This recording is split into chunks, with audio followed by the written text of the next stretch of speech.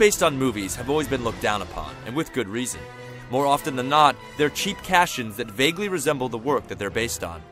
EA hopes to cast Reparo on the whole situation with Harry Potter and the Order of the Phoenix, based on the book and movie of the same name. Sporting impressive backing from the film's cast and crew, the game promises to deliver an authentic Harry Potter experience.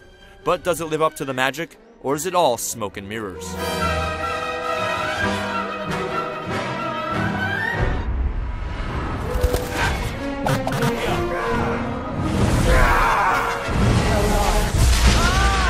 The events of the last book and movie, Goblet of Fire, left Harry in dire spirits for Order of the Phoenix.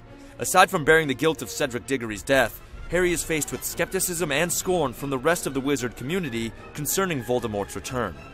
Things only get worse when Harry returns to Hogwarts to find a new headmistress and defense against the dark arts teacher, Dolores Umbridge, whose prim and proper attitude and kosher curriculum leave him dismally unprepared. I children. From there, Harry decides to take matters into his own hands by forming Dumbledore's Army, a clandestine group of students who meet in secret, learning techniques in preparation for the danger that awaits them.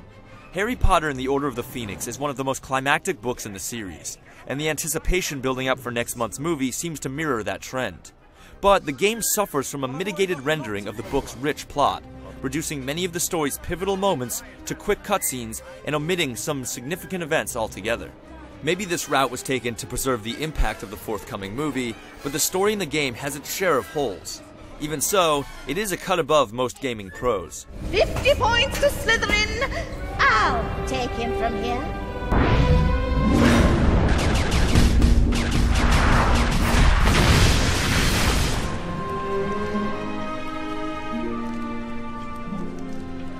This iteration of the Harry Potter game series, the level oriented design of Goblet of Fire has disappeared. In its place is an enormous, true to scale recreation of Hogwarts that not only captures its key landmarks and corridors, but many of its smaller nuances as well. Progressing through Order of the Phoenix is contingent upon completing tasks displayed on a map that's littered with names of various students and faculty that require Harry's attention. Some students must be brought to dark arts meetings, some require assistance with miscellaneous tasks, while teachers provide various side quests to complete in your spare time.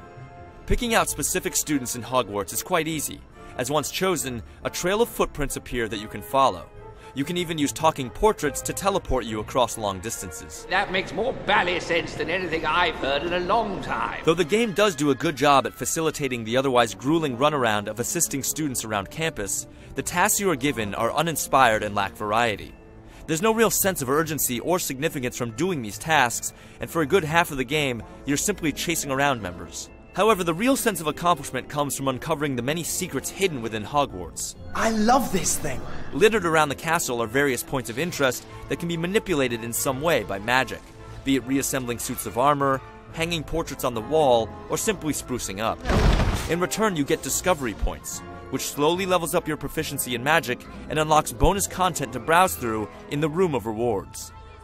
The game's fickle assortment of tasks may be one of its downsides, but the massive undertaking of completely picking apart Hogwarts secrets is more than enough to keep would be wizards entertained.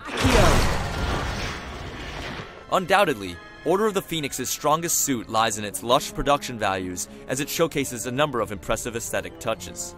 For example, a majority of the movie's cast has lent their voices to the game, including Neville Longbottom and the Weasley twins. And to be in it is fantastic. Miscellaneous students also rattle off random series Easter eggs that Potter buffs will pick up on. The game's visuals aren't going to give Gears of War a run for its money, but for the first next gen Potter game, it has its moments.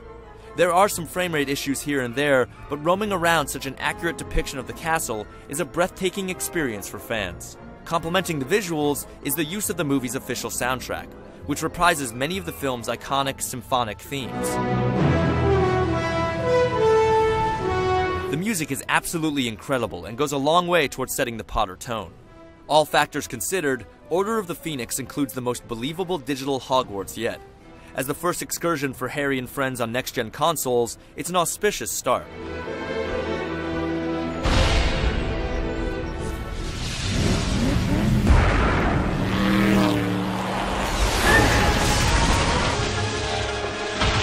As with anything Harry Potter related, magic plays a central role in the game.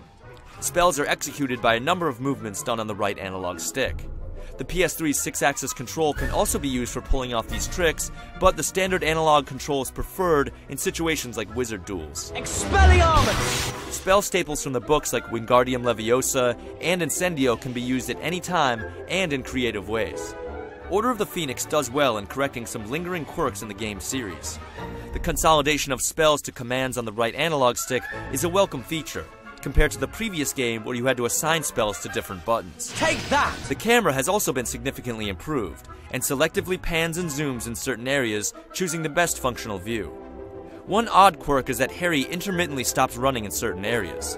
Also, the students in Hogwarts can get in the way, preventing Harry from getting where he needs to go. Watch out, it's Potty Potter. This is especially bothersome when Ron and Hermione, who tag behind you through the whole game, corner you or otherwise get in the way.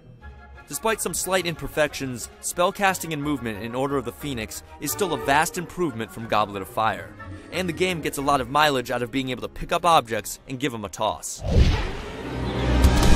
If you're looking for authenticity, then Order of the Phoenix is just what the wizard conjured. The mission objectives are mundane, but all the little secrets littered throughout give it a sense of discovery that Harry Potter games have failed to deliver in the past. If you're a die-hard Potter fan, then don't think twice about picking it up, and action gamers will find a lot to like as well. Well, the game is up. What are you waiting for?